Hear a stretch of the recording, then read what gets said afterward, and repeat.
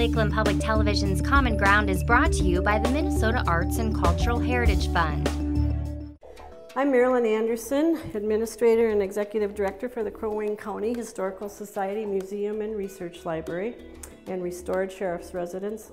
Our building is on the National Register of Historic Places and we have a wonderful county museum and a research library open to the public and the sheriff's residence, which was connected directly to the jail in the same building where the sheriffs lived with their families for the most part. And it's a beautifully restored building. Um, it's all restored to early 1900s with lots of county artifacts and furniture that's been donated. Um, this house was very modern for its day in 1917 when it was built. It had electricity, central heat, and gas heat, and hot and cold running water, which um, was, was kind of not the norm. And it is a beautiful home. The floors are hardwood maple, and the woodwork in the lower level of the sheriff's residence is oak, and upstairs in the bedrooms it's maple. We're in the kitchen of the historic sheriff's residence, and this kitchen is my favorite room. The cabinets are oak and they're original. And the sheriff's wife had the lovely job of cooking for all the prisoners too. So they did get a stipend for that, for obviously for buying food and cooking and serving all the prisoners. There's actually three flour bins was assigned to me that she did a lot of cooking. The jail, which is attached to the sheriff's residence, is directly on the other side of this wall. The walls between the jail and the sheriff's residence are 18 inches of concrete. So the families were, you know, pretty safe and there was barred doors where the where they would have came in or out of the residence into the jail. This is where the wife and or cook in the later years when the sheriffs didn't did choose not to live here, they passed the trays of food to the prisoners. I'm walking in from the kitchen of the sheriff's residence, and it had a really cool swinging door into the dining room of the sheriff's residence. And I love the built-in buffet, and I wanted to make sure that everyone notes the beautiful leaded glass and the tulip stained glass that's in the buffet, and it's carried over into the transoms of the windows in the parlor and the dining room, and the front porch that goes almost the full length of this house um, on the main street, Laurel Street, which we face. We're now in the parlor of the sheriff's residence.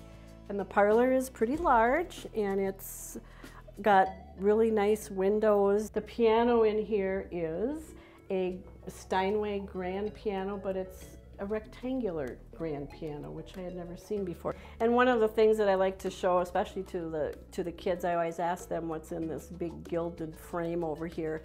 It's hair woven, and it was real popular in the Victorian era, and a lot of times it was done in in memory of a loved one that had passed away. Um, a lot of times they might have taken some of grandma's old jewelry and woven it in like pearls or pieces of earring or pins or brooches. And it really can be quite intricate and it was a pretty involved process. I'm standing in the upper level in the hallway. All these hallways in this, this house were just so wide. And there's a nursery up here too, which is really unique because it has two doors on it one going from the hallway and then one from a bedroom. And originally there was one small window that you could peek in and we have made the windows larger now because we're using it for exhibit space. And down the hall is another bedroom and a bathroom. The bathtub is long. I have never seen such an old-fashioned long bathtub. And some visitors say wasn't it originally, didn't it have claw feet? No, it, it never did. It always sat on the floor. And of course, like I said, 1917, and they did have hot and cold running water, so they had a fancy bathroom with a huge bathtub. Where I'm standing actually used to be two smaller bedrooms at one time. The bedroom on the right would have been the master bedroom. The bedroom on the left was where the uh, the children would sleep and or later on a matron because on the the wall where the headboard is was the women's jail cells so that she could could hear them or be close to the, the women um, prisoners. This desk that I'm standing by has some significance because it was donated by Mr. Lum, who actually started the Crow Wing County Historical Society in 1923, gave $500 and his desk. Um, and so it's got his initials carved in the upper part and it's got some little secret compartments in it. And so this is how the Historical Society got started. $500 and a desk. We're now in the two jail cells that were women jail cells when this was an active jail. Like I said, 1917 through the late 60s. And each jail cell had a window, and in between the two jail cells, there was a shower with no light. Um, it looks like kind of like a little dungeon, but there is a shower head back there, but no light because they believe that those criminal women would have used that light bulb as a weapon, so there is no light in there. This like I said, was a jail with 13 jail cells. So when it closed in the late 60s, they were going to tear it down when they built the new county jail. But some citizens got together and thank God they saved it. So it took a long time, but it was gutted. The, the cell area was gutted for the museum. And so it's, it's all ramped and there's different levels of Crow Wing County history. And the first level is uh, logging, which was like the first big um, settlement uh, industry.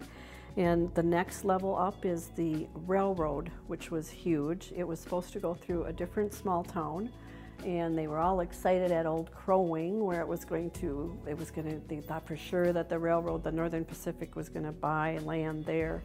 And lo and behold, no, they picked Brainerd. So Old Crow Wing ended up to be a dying town, and uh, it's now Crow Wing State Park and uh, Brainerd was the home of the Northern Pacific Railroad. And we still have some shops here that are active, and it's also on the National Register, those shops. So the next level is railroading exhibit. The next level up is more of a community level with um, lots of artifacts. We have a huge loom up there. We have farming artifacts. And um, on the ramps, because it is all ramped, really wide ramps with lots of um, wall space, we have wonderful historic paintings and um, a Native American exhibit with some of the most beautiful beadwork, I believe, that I've seen. Next, on one of the ramps is a mining exhibit because first came the logging to the county, then the railroad, and when the last pine tree was cut, then um, thank goodness there was iron ore discovered in the Cuyuna Deerwood uh, at Crosby Ironton area, so there was mining. We can't forget about our research library, which we get a lot of visitors that are doing genealogy or any kind of historic project, whether it's a writer for a local paper or um, or anything. We have newspapers on microfilm, a historic photo collection. People can get reprints of photos and just a lot of a wealth of information. We're really proud of, of what we've done and what people that before me have done. Uh, we rely heavily on volunteers and uh, the community's been more than supportive in donating artifacts, which we continue to accept, you know, appropriate for Crow Wing County. And we just think that this is a hidden jewel, a hidden, hidden gem in Crow Wing County in this lakes area. And we're very proud of, of, of what has been done and what we continue to do. If you enjoyed this segment of Lakeland Public Television's Common Ground, consider making a contribution at lptv.org. If you have segment ideas pertaining to North Central Minnesota, contact us at legacy at lptv.org.